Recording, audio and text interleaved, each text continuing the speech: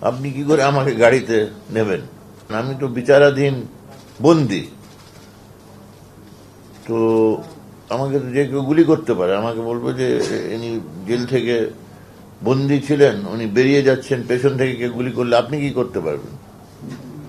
বলল, না, আমি তো আছি। বললেন না, এটা দেখেন, আপনাকে তো আইন মেনে এই কাজগুলো করতে হবে। তো আমাকে, আমি তো বলেছি, ইয়েস, আমি যাব। তবে এই কেসকে প্রত্যাহার করতে হবে। ওই আইনজীবী আমি ছিলাম, আমাকে বললেন এই যে আমার আইনজীবী তো আপনাদেরকে চিঠি দিয়ে বলেছে যে কেস প্রত্যাহার করো, নিঃশর্তভাবে প্রত্যাহার করো। আমি যেসব লোককে নিয়ে এসেছি, সবাইকে নিয়ে আমি মুক্ত হব। আমি আমাদের মানুষের সামনে যে জনসভা করব, তাদের কাছে আস্থা নিয়ে তারপরে আমি যে এটা জাতীয় বক্তব্যগুলো আইউকের কাছে তুলে ধরতে পারব। অন্য কোনো ভাবে তো এটা সম্ভবই না। তো তখন সে জেনারেল চেষ্টা করেছে, মন্ত্রী, যে আপনি বুঝতেছেন না আর এখানকার অবস্থা তো খুবই অস্বাভাবিক, এই তো কয়েকদিন আগে একজন জৌরাক মারা গেছে, এখনও সেই অবস্থায় আছে, আপনার জীবনের নিরাপত্তা তো এখন আমরা নিশ্চিত করতে পারি না। তো আমি সেটাই ভুলবো না যে এই- এটা সে আর কয়েকবারই ওনার সাথে অভিজ্ঞতা আমার হয়েছে। উনি আবার মানে খুব মানে হেসেই বলছেন যে, দেখো, আমাকে এইভাবে ভয় দেখানোর কোনো অর্থ হয় না। আমি মুসলমান। আমার কপালে লেখা আছে কোন মুহূর্তে আমার মৃত্যু ঘটবে। তার এক মুহূর্তে আগেও হবে না, এক মুহূর্তে পরেও হবে না। অর্থাৎ যদি আমার মৃত্যু এখানে লেখা থাকে, হবে, তুমি কিছুই করতে পারো না। আর যদি না লেখা থাকে, তোমার এই হুমকির কোনো অর্থ হয় না। তো সে আবার চেষ্টা করল যে, না, আপনি বুঝতেছেন না কি কত বড় একটা ঝুঁকি ইত্যাদি। তো উনি হেসে এটা বললেন, না, আমি তো অবশ্যই যে, যেতে পারি। তো যে আমার তো লিগেল নোটিশ দেওয়া আছে কেসকে প্রত্যাহার করো নিঃশর্তভাবে আমি মাথা উঁচু করে যাদেরকে নিয়ে আমি এখানে এসেছি, সবাইকে নিয়ে আমি গেটে বাইরে যাব, স্বাধীন মুক্ত হব। শুধু চেহারা টেরা খারাপ হয়ে গেল, সে চলে গেল। কিছুক্ষণের মধ্যে যে জেনারেল ওখানকার দায়িত্বে ছিলেন, জেনারেল মুজাফর উদ্দিন জিওসি সে এসে বলল যে হ্যাঁ আপনার নেতার প্রতি তোমার শ্রদ্ধা আরও বেড়ে গেছে। উনি কীভাবে নীতিগতভাবে সঠিক বক্তব্য রেখেছেন, সাহসের পরিচয় দিয়েছেন, ওনাকে যেসব এই যে জীবনের ঝুঁকি টুকি হুমকি দেওয়া হয়েছে, এ কি উনি কোনো পাত্তাই দেন নাই? তবে এখন আমার একটা বিপদ আছে বলেন উনি, ওনার সাহায্য ছাড়া তো এটা এটা আমি এই পরিস্থিতি মোকাবেলা করতে পারব না। সেটা হলো যে এয়ারপোর্ট রোড থেকে হাজার হাজার মানুষ ক্যান্টনমেন্টের দিকে ধাবিত হচ্ছে।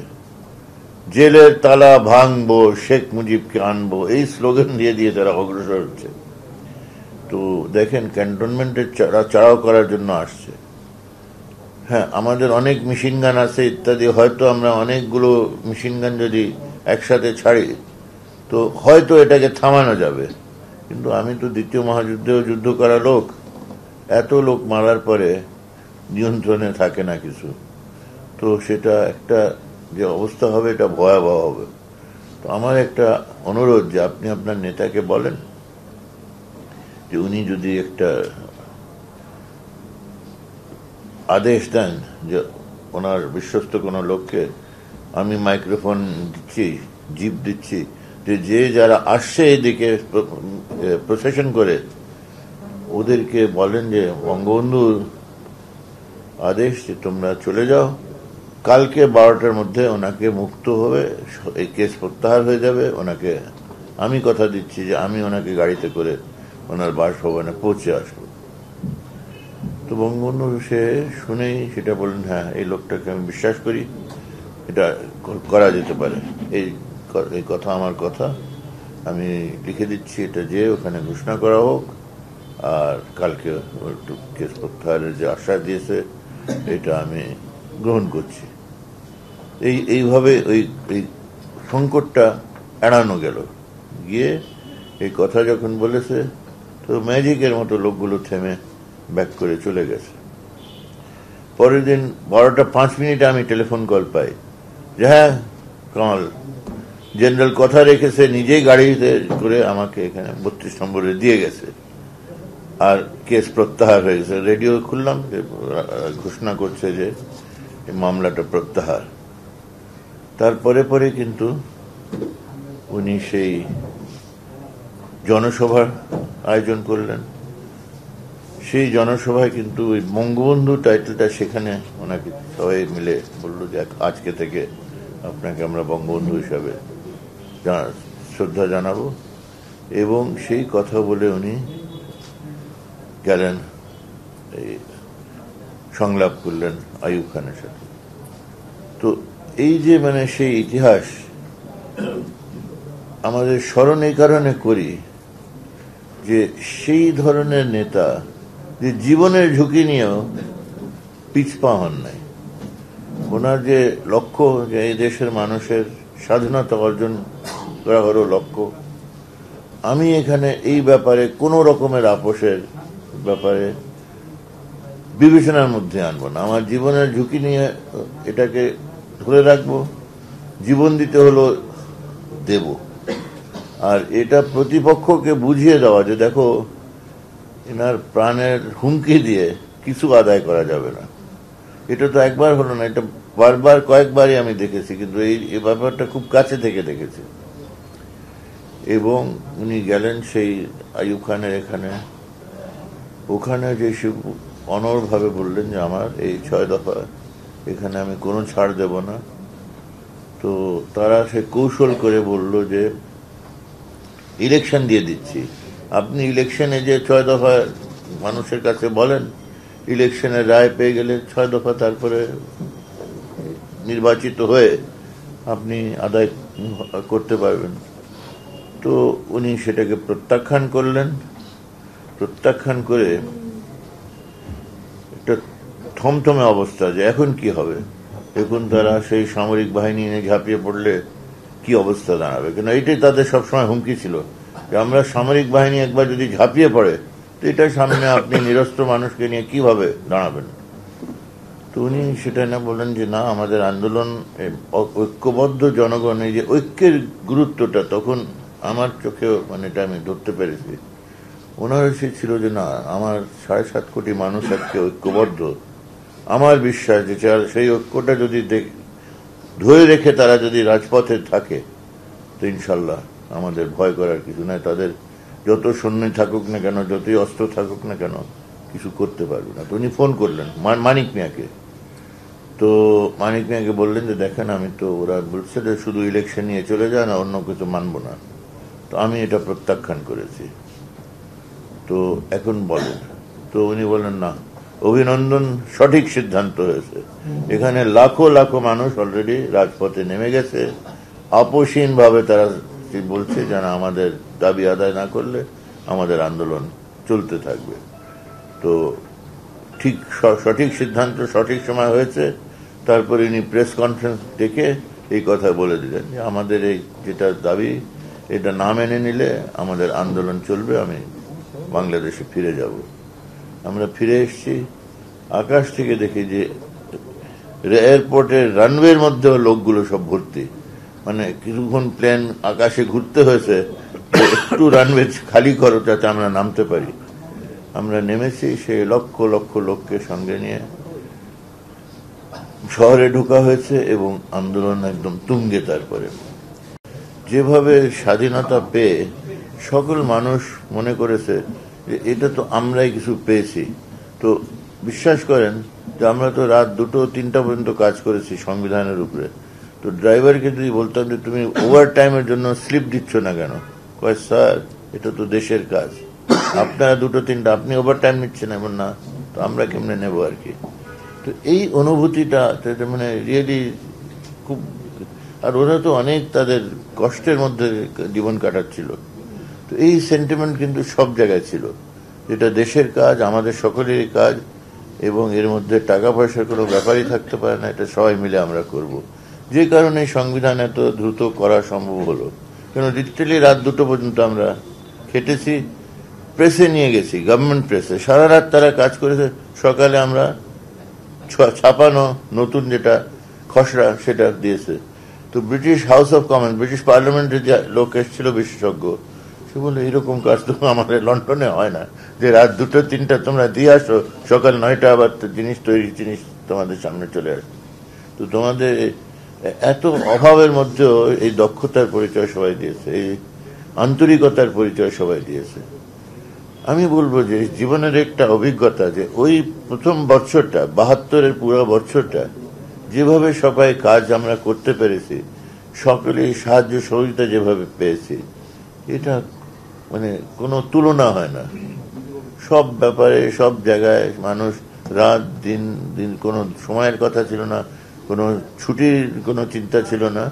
করে টুরে এই জিনিসগুলো অসম্ভবকে আমরা সম্ভব করলাম যে ওই বছরের মধ্যে সংবিধান হয়ে গেল হ্যাঁ? যে পাকিস্তানের সংবিধান চব্বিশ বছর হয়নি আর কি। আমাদের এক বছরের মধ্যে সংবিধান হয়ে গেল নির্বাচন তার পরে পরে হয়ে গেল সরকার বসে গেল, বিভিন্ন দেশে আমাদের আন্তর্জাতিক যে সম্পর্কগুলো ছিল সেগুলো স্থাপন হয়ে গেল, এম্বাসিগুলো খুলে গেল।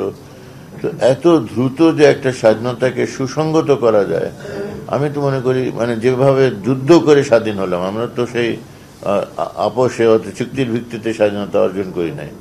যুদ্ধ করে স্বাধীন হয়ে সবকিছুকে স্বাভাবিক করে সারা পৃথিবীর সঙ্গে সম্পর্ক করা এটা আমি মনে করি আমরা সবাই জাতীয়ভাবে একটা অর্জন এবং গর্ব করতে পারি। এবং সেই যে আজকে দশই জানুয়ারি বঙ্গবন্ধু ঢাকাতে তিরিশে ডিসেম্বর ওই সংবিধান আলাদা আচ্ছা এখন আমার বর্তমান সম্পর্কে যে তিরিশে ডিসেম্বর কেবল সেভাবে হচ্ছে। না এটা সত্যি খুব দুঃখ লাগে বিশেষ করে আজকের দিনে। আমি ভাবতে পারিনি যেখানে আটচল্লিশ বছর হয়ে গেছে। আমি সেটাই বললাম যে এই যে তিরিশে jan তিরিশে ডিসেম্বরের যে ঘটনাটা আমি বললাম আটচল্লিশ বছর পরে এটা দেখতে হচ্ছে এটা আমি বিশ্বাস করতে পারি না। হুম?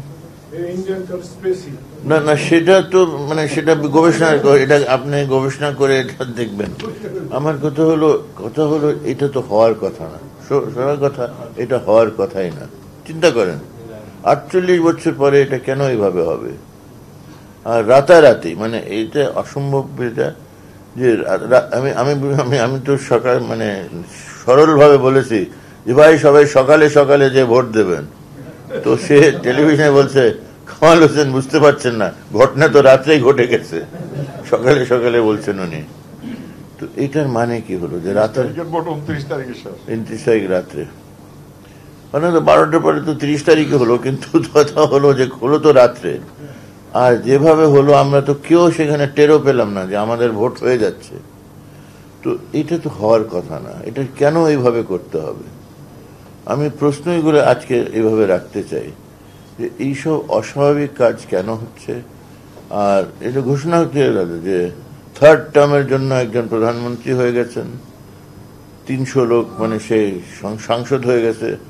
আর অপোজিশনে সাতজন মানে আমাদের দুজন। একজন এখানে আমাদের মাঝে আছেন। তো এটার অর্থটা কি? এটার কি জিনিসটা কি? এটা একটা খেলা নাকি? এখন সতেরো কোটি মানুষকে নিয়ে কি খেলা করা যায়? তার হাতের মধ্যে রং লাগা দিয়ে বলছে বাড়ি যান ব্যালট নাই। হ্যাঁ এইসব তো এখন সারা দেশের মানুষ এই কথাগুলো মুখে মুখে শুনতে হচ্ছে যে নাটকগুলো করেছে।